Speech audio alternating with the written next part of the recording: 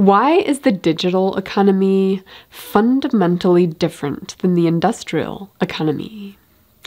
And there's going to be a number of answers to this, but in this video, I'm going to go over probably the most important of those, which is that the digital economy moves us toward a public goods and club goods economy instead of a private goods economy. And I will explain this. But another way of putting this is that there were some features that were natural to the economy of things, like physical things, that are either absent or artificial in the digital economy. And in particular, scarcity and excludability, like those things have changed when the digital economy comes first. And ultimately, I think the digital economy is what determines how energy resources flow, how physical resources flow. It's sort of like the digital economy is first and the physical economy is second. It follows. And because of that, there are a lot of people that are trying to figure out given this fundamental shift, how can we navigate this with new tools? In fact, that's what Web 3.0 communities are essentially trying to do is they're trying to say, given that the tool set of the economy has changed so dramatically. What can we do? How can we structure things differently that will be more democratic and more participatory, and in ways that will help us get out from under the thumb of existing power structures? So, what are the four types of goods, and how have the ratios of these goods changed with the advent of the internet? Now, we start with private goods. And private goods include things like ice cream and t shirts and shoes. And the key two features of private goods are that they are rival and that they are excludable. Where excludable means if you own the shoes or the shirt or the ice cream cone, you can stop somebody else from consuming that. It's just yours. Like it's possible for you to say, no, I own this. I can I can be a physical barrier between you and this ice cream cone. And then rival means if I consume the ice cream cone, that stops somebody else from being able to consume the same ice cream cone. Only one person can consume it without uh, the quality of that product diminishing. That's private goods. Now, on the opposite side of this diagram, catty corner in the diagram shown, you have public goods. And public goods are the exact opposite. Classic example of public goods are fireworks shows and military protection, where both of these are non-rival and non-excludable. Non-excludable means you cannot exclude anyone from the protection they get with military. You can't say the military is protecting this neighborhood and not that neighborhood. If you have the military, they, they essentially protect everybody without excluding people, and you couldn't even exclude people if you wanted. And same with fireworks shows. If the fireworks show is going on, you can't exclude someone in the town from walking outside and watching it and enjoying it. So it is non excludable. But these are both also non rival. Non rival means if one person's enjoying the fireworks show, that does not diminish anybody else's ability to fully enjoy the fireworks show just as much. Essentially, one person doesn't use up the public good. Common resources are rival but non excludable. And examples of this include clean water, clean air, uh, timber, roads. You can't exclude somebody from enjoying the clean air. But it's rival in the sense that people can use it up. Like people can use up the clean air by smoking or polluting in some other way. And if you have a lake, it's possible that the setup of the lake is such that everybody can go use the lake, everybody can go fish. But it is possible to fish all of the fish out of the lake such that the population does not replenish the next year. So it's rival. Each person using the resource diminishes it for other people. And then the last good type here is club goods. And club goods are excludable but non rival. And classic example here is the movie theater, where you can exclude people from entering the movie theater. But once they're there, one person enjoying the movie does not diminish another person's ability to enjoy the same movie. And if you compare the old economy to the new digital economy, the old economy had a lot of private goods, and most of the thinking around economics in the old economy focused on private goods. Now, the ratios obviously have switched with the digital economy. Digital products are essentially non rival. That means if I put out this video, one person enjoying it does not diminish another person's ability to enjoy it. And whether it's excludable is going to depend on the technology that can artificially exclude people from using it. Like if you watch Netflix, Netflix is definitely a club good, but it's a club good because you enjoying movies there doesn't diminish other people's ability to enjoy movies there. But they can exclude you from watching the movies on Netflix through these digital technologies that require a password to log in. And YouTube videos are available for free, or either for free or else for a price of your your attention time with the advertising, depending on how you look at it.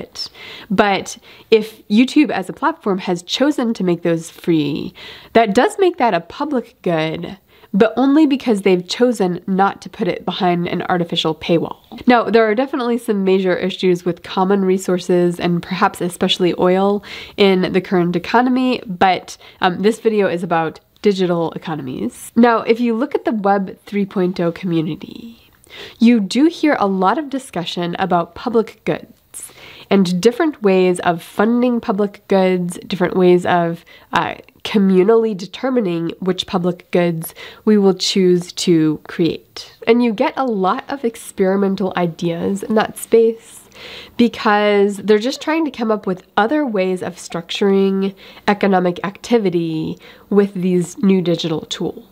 So I would like to give a few examples of different structures for funding public goods as they float around the Web 3.0 community. So historically, public goods are funded by the government. Like that's the classic um, place for public goods to be funded. And of course, that fits my two examples with the military and the fireworks display.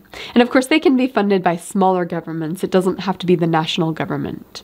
So that's like the first way of funding public goods. But it's not the only way, and there might be reasons that we might want to create a more democratic way of funding public goods that's outside the purview of the existing government.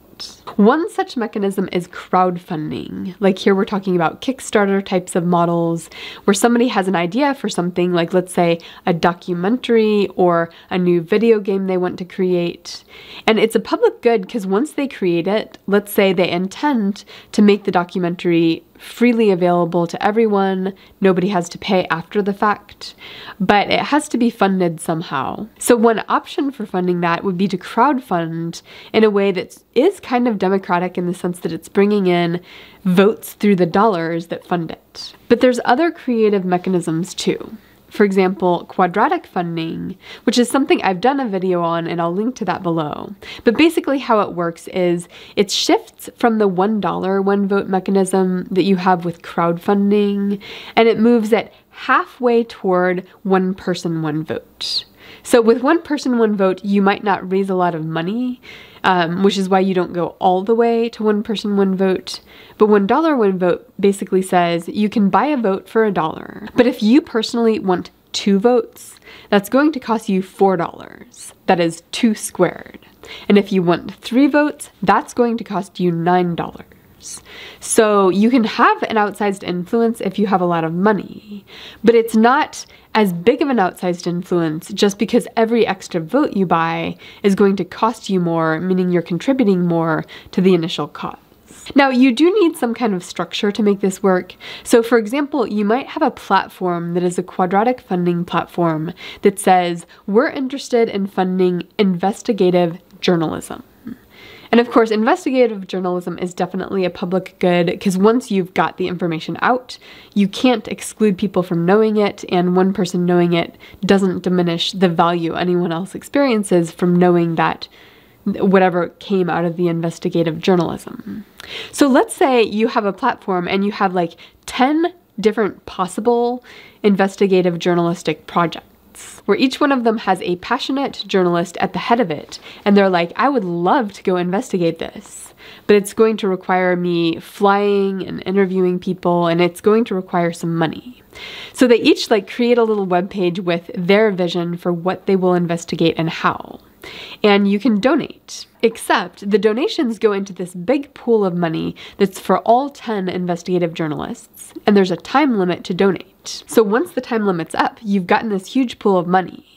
And the people in charge of the platform will distribute that money according to the votes, where people have purchased votes, but it's not exactly $1 one vote. It's the first vote is $1. If you want two votes, you have to pay $4 for that. If you want three votes, you pay $9 for that, etc. So the way you distribute the funds will favor the richest people, but it's just that their voting weight won't be as heavy as it would be if they were the pure funders. Now, there's other models for funding public goods. For example, prizes is a classic way.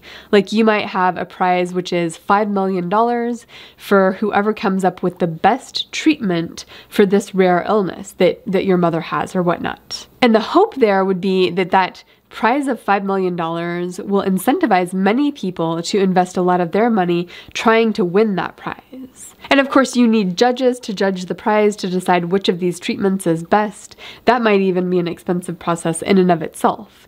But the, the notion is that you're incentivizing investment in solving this problem.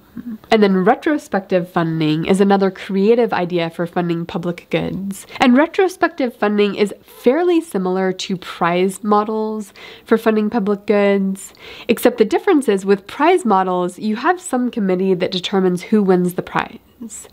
With retrospective funding, who gets the pool of money after all is said and done is determined by someone's retrospective vote based on how useful something turned out to be. So with this one, you might imagine 15 video game creators who all want to hire their own artists and hire their own programmers to create a really cool idea for a video game. And maybe you have a community of people who would love some new video games and they're willing to sort of contribute to this fund. Or you have just a million dollars to spare for whatever reason. The retrospective funding model would basically say, okay, we're going to set this up such that after the video games have been out for a year, then we're either going to have a vote or else maybe it'll just be by usage, like how many hours did this community use the video games?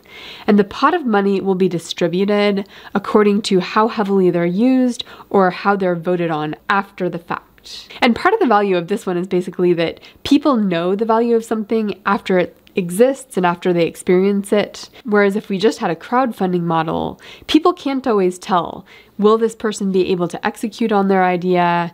Is the idea as cool as it sounds just with a with a prototype?